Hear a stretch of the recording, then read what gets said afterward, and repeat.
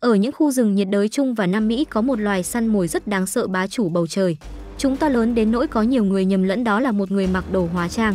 Với lực gấp sấp xỉ 530 PSI, chúng đủ khả năng kẹp vỡ hộp sọ của con người và bóp nát như một quả nho.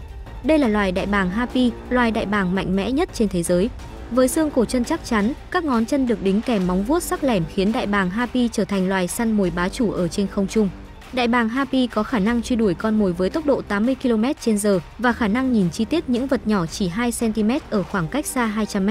Chúng có chế độ ăn rất đa dạng, tuy kích thước to lớn đồ sộ, nhưng khả năng luồn lách giữa các nhánh cây lớn khi săn mồi trên cao lại linh hoạt đáng kinh ngạc. Các con mồi của chúng thường là khỉ thầy tu, loài lười cùng các loài bò sát.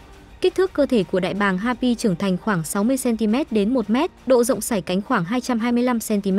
Chiều dài móng vuốt của đại bàng Happy là 12 cm và cân nặng khoảng 10 kg đối với đại bàng cái, con đực lại nhỏ hơn chỉ nặng khoảng 6 kg.